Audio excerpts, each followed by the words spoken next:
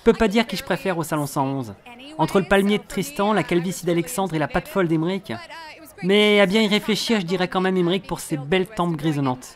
Et puis, je le trouve tellement sexy quand il dit holistique ou on ne peut pas. Voilà, donc ce serait euh.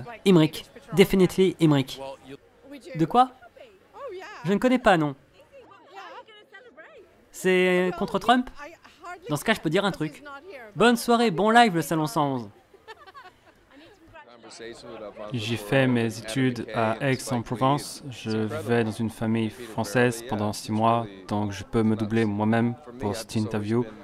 Merci beaucoup Salon 111 pour son accueil, des gars très sympas. Moi aussi, je suis très sympa, tellement que c'était énervant, car on n'arrive pas à me détester d'être beau. je suis un peu nerveux ce soir, mais très excité. J'espère Lady Gaga va gagner. C'est pas facile pour elle de jouer une chanteuse, mais surtout son maquillage. Euh, bonne soirée et bon live le Salon 111. Je sais que les gars du Salon 111 recherchent désespérément une femme pour animer à leur côté. Je voudrais profiter de cette antenne pour déposer ma candidature.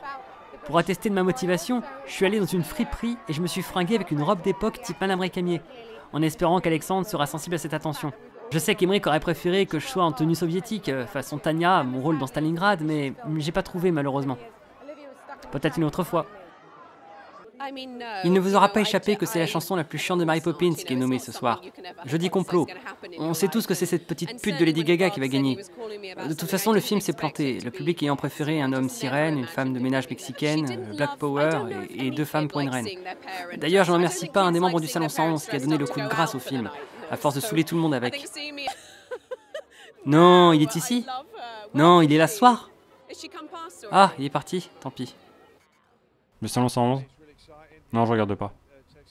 Je regardais, mais je suis des abos depuis le fail des registres de langue. Un vrai foutage de gueule. J'ai pas envie de parler d'eux. Je suis nommé pour un film où j'ai dû m'en les dire de la tête aux pieds.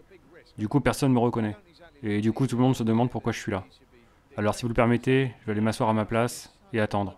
Seul. Dans le noir. Si j'en veux au Salon 111 d'avoir critiqué Bohemian Rhapsody et d'avoir refusé de le voir Bien sûr que non, on est cool. J'aime beaucoup le Salon 111.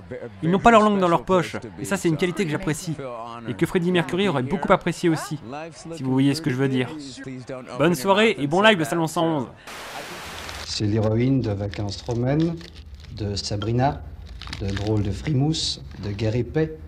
Et, et à la voir s'occuper ainsi toute seule, nous nous demandons à quoi elle peut bien songer en ce moment.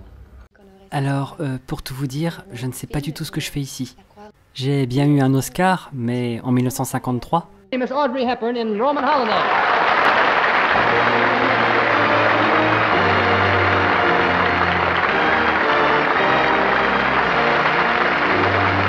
Et je ne suis pas nommé cette année pour euh, la bonne raison que je suis morte en 1993. Je ne suis pas censé être là. Ma présence n'est qu'un caprice d'Alexandre qui abuse de sa position de monteur. Euh, j'en profite pour lancer un appel et dire que je n'en peux plus de ce garçon. Euh, que je veux qu'il laisse ma mémoire en paix et qu'il me décroche de ses murs, c'est super glauque, mais surtout qu'il arrête d'emmerder tout le monde avec moi. Voilà. Merci. Bonne soirée, bonne soirée le Salon bon live.